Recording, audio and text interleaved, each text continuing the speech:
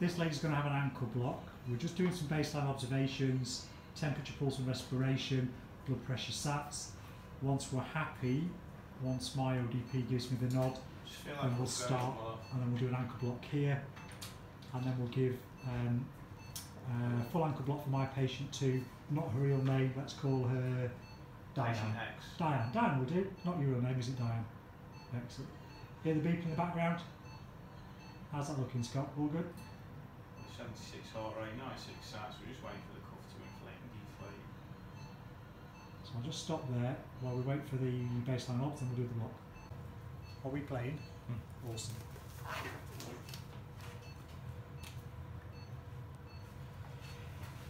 This is going to be our surgical site. So the nerves we need to anaesthetise for that tibial nerve coming around the back. I don't know if you can see that, Scott. So what we'll do, we just there'll be a little bit of motion capture on this. So we're just going to feel.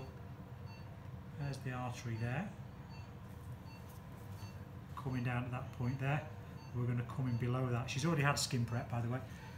Saphenous, there's the saphenous vein coming in. We're going to go medial to that. On the top of the foot, this is the one that actually innervates the joint itself.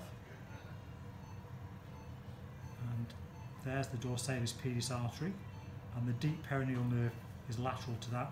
And the last one we'll need to do is the superficial peroneal, which in skinny patients like Di, you can normally see, not quite see it there, that's going to come down on the front of the foot. So we're going to do a wall of anaesthesia on the top of the foot there. So those are the four nerves for that. The one we don't need to do is the sural because we're on the big toe.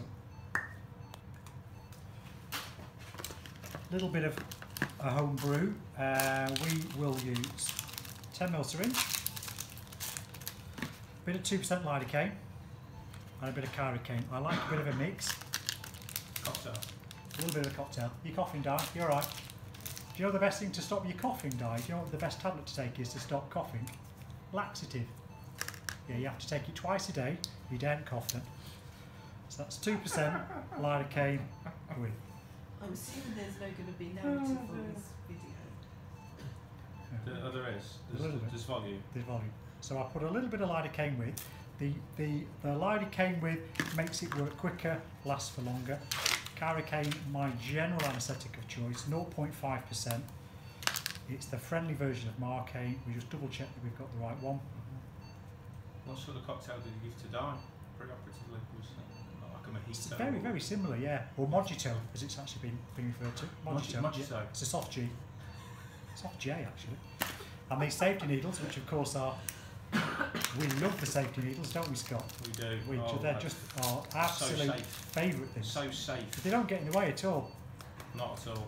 So, because this lady is a, is a private patient, we're going to take most of the air bubbles out first. That's yeah. It's always nice. Know. Try and prevent the aneurysms for the private patients. Um, we'll do the saphenous first. So there's a saphenous vein, saphenous nerve just medial 2. Di, little scratch, Three, two, one, scratch.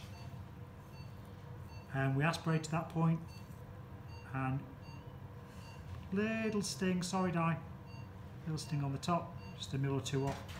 That's going to do that one nicely. We'll come on the top. We'll do dorsalis pedis, lateral, which is deep peroneal nerve. Down, down to bone, scratch. Sorry, Chucky Egg. Down to bone, we stay deep because it's the deep peroneal nerve. Don't need to aspirate at this point because you're right by an artery. That anaesthetic is going to go distally. Sometimes it's a little difficult injection to give because it's very tight underneath that fascia. Just needing to be a bit persuasive there.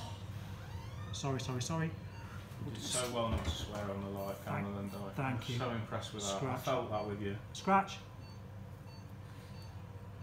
Lace one stings a little bit, it's just underneath the skin. So I normally do two passes at the front of the ankle. And that's going to do dorsal medial hallux. Well done you. And then the last one, I'll rotate the foot round again. Tibial, there's our artery. We're going to come posterior lateral with the needle scratch. Three, two, one. And we're going to aim to become behind the artery. Very, very gently advancing the needle, not looking for needle paresthesia. Aspirate, nothing in there. Di a little sting as that goes in. Do you feel that? That's okay. Uh, I normally put about five of the mix in there. And then that's going to take about 20 minutes to go. So Scott and I are going to go outside, have a coffee, and we're going to come back when the patient's numb. Thanks, sir. You were awesome.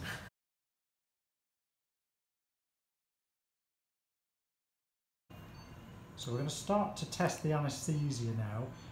If we test on the top of the foot, I'll just come in. So this is the deep peroneal nerve. Di, sharp or blunt there? Blunt.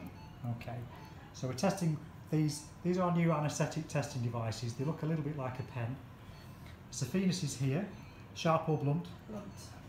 and then the tibial is going to take a little longer to go off. So sharp or blunt, that's the calc. Sharp or blunt there, Di.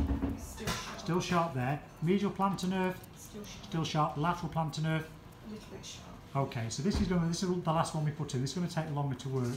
Don't forget the medial plantar nerve and the lateral plantar nerve meet at about the fourth toe. So sorry the video is a bit dark. Medial plantar nerve, medial three and a half toes, lateral plantar nerve, lateral one and a half toes, calc nerve here. This will take 10, 15, 20 minutes to work, uh, but we already know on the top.